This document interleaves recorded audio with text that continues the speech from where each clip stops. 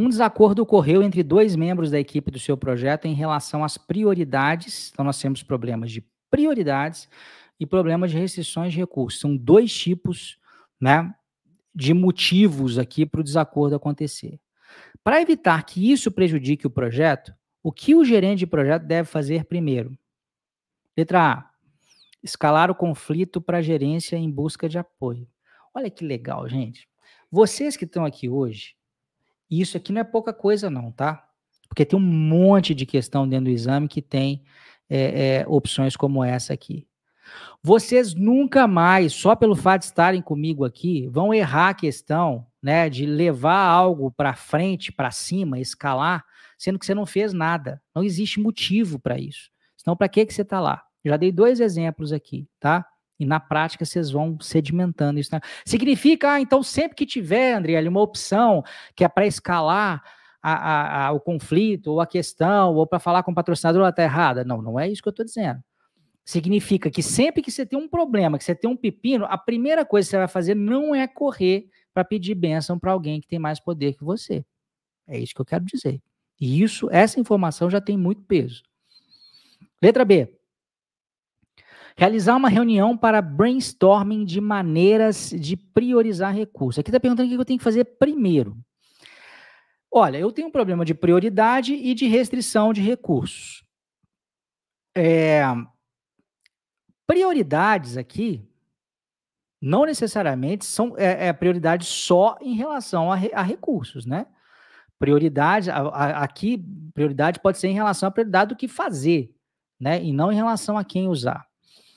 Então, aqui tem um probleminha com essa opção, porque ela fala só na parte. É, que eu até poderia dizer que essa parte não, de priorizar recursos, mas será que fazer uma reunião para brainstorming direto é a melhor coisa a se fazer?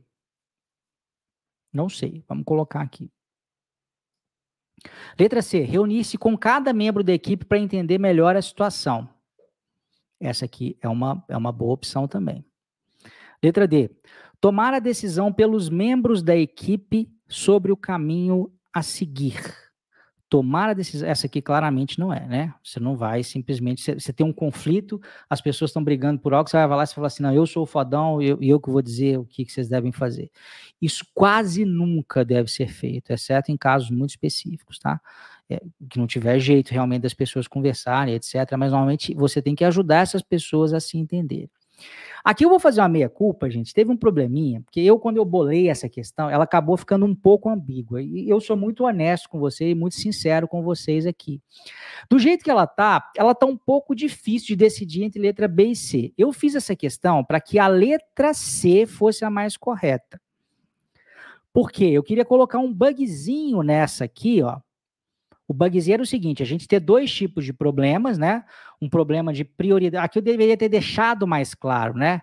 Que seria prioridades, por exemplo, em relação ao que vai ser feito, né? Prioridade do que deve ser feito primeiro, por exemplo, num projeto. Quando a gente tem um projeto ágil, por exemplo, essa definição de prioridades é muito importante, né? Do ponto de vista de escopo, né? E gestão de recursos é outro problema. E aí, na letra B, eu queria colocar que a gente só estava lidando com um dos problemas, só os problemas dos recursos, então ela, ela, seria uma opção incompleta. Como eu coloquei prioridades e restrições de recursos, e aqui eu coloquei priorizar recursos, ficou meio ambíguo. E assim, é, eu ainda acho que na forma como está, a letra C ainda é a melhor. Por quê? Seria legal a gente antes até de partir para uma reunião de brainstorming, a gente ter uma melhor, né? Não significa que eu vou conversar com cada membro e já vou decidir. Não, vou conversar com ele para ouvir o lado de cada um e depois a gente poderia ir para essa reunião de brainstorming. Seria um segundo momento. Mas eu confesso que aí já já já fica um pouco ambíguo, né? É, é, eu, eu, deveria ter colocado um pouco mais claro de que aqui são dois problemas e aqui na letra B eu estaria fazendo brainstorming só para um problema e isso tornaria a opção incompleta, tá?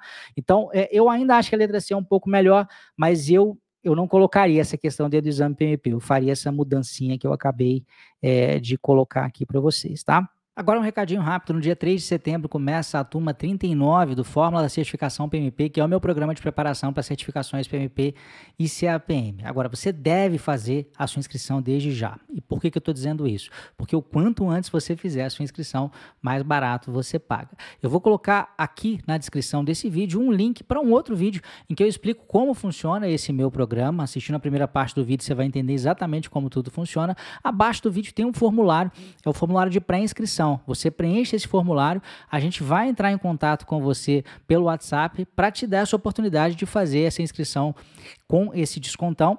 E ainda, além do desconto, você já pode começar os seus estudos de imediato. Então a turma começa no dia 3 de setembro, mas eu já vou te orientar sobre como você pode iniciar os seus estudos com o meu material, com a minha metodologia desde já e, claro, depois participar integralmente da turma 39 também. Não perde essa chance, hein?